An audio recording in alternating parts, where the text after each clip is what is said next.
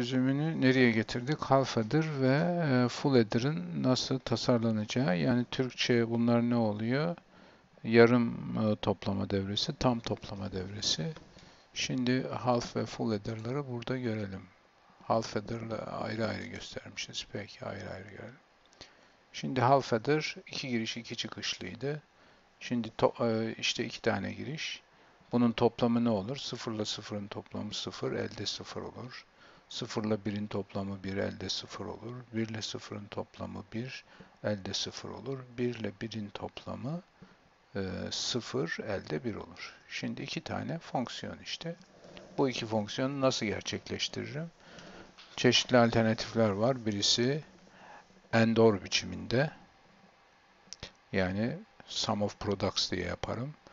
S ne oluyor derseniz işte şu çarpım terimi artı bu çarpım terimi bu x üssü y artı x y üssüdür. Toplarım. S çıkar. C nedir derseniz bir tane doğru minterm var. x1 çarpı x2. x1 çarpı y.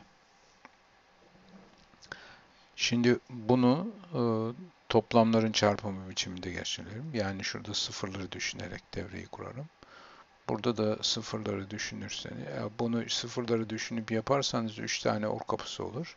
Bunu bunun aynısı alırım. İşte alternatif e, half header da bu olur. Başka ne olur derseniz, bakın ne olur. Şu S'e bakarsanız S aslında bir ayrıcalı veya kapısı. Niye derseniz farklı girişler farklıysa 1 veriyor, girişler aynıysa 0 veriyor. Şimdi bu ayrıcalı veya. Demek ki S tek başına bir ayrıcalı veya olur. E, C'yi de V kapısıyla yaparsam bunun yerine, şu ikisinin yerine bunu kullanabilirim. Değil mi?